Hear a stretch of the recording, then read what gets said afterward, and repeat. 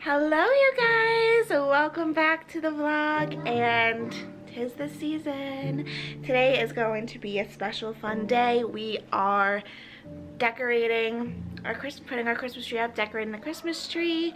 Um, it's a day full of Christmas stuff and then we are going to go out to dinner, a nice early dinner, and then we are bringing the kids to see Santa don't know what that was in the to see Santa and get pictures with Santa.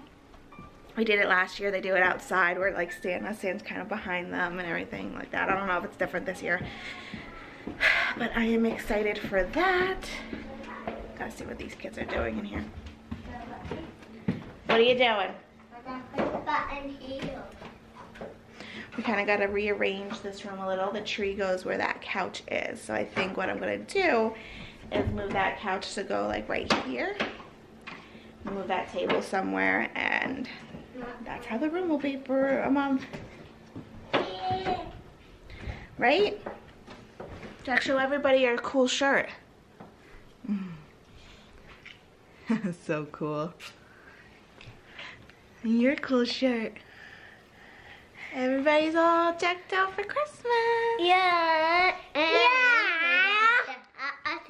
Activity. What? And activity. Yes, we are gonna decorate our And Christmas people, tree. mommy. People. Mm. Mm. Mm. Mama, mama, mama, mama. Got my Christmas Christmas Mickey on.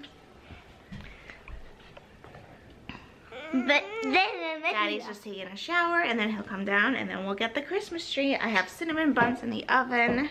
Yeah. Yeah. Yeah. They've got a few more minutes left and then yeah, so happy holidays. Cleared the space for the tree.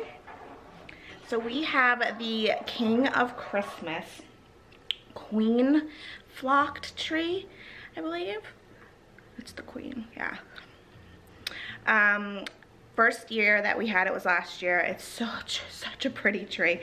Um, it's the flock, so, you know, it looks like it has the snow on it, but it's not like overly flocked, so you can still see, a, see a little green within the branches.